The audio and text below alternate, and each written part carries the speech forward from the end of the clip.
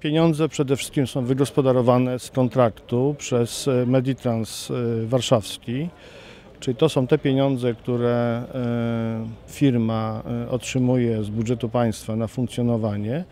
No oczywiście dzięki racjonalnej gospodarce można było przeznaczyć ponad e, 3,5 miliona złotych na zakup tych 17 nowych ambulansów.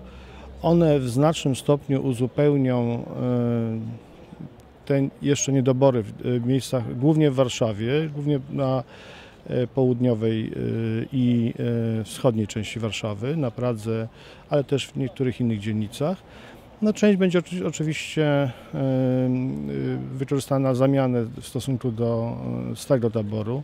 Zresztą za parę dni chcemy też przekazać te oczywiście w dobrym stanie jeszcze karetki dla e, jednego z obwodów ukraińskich.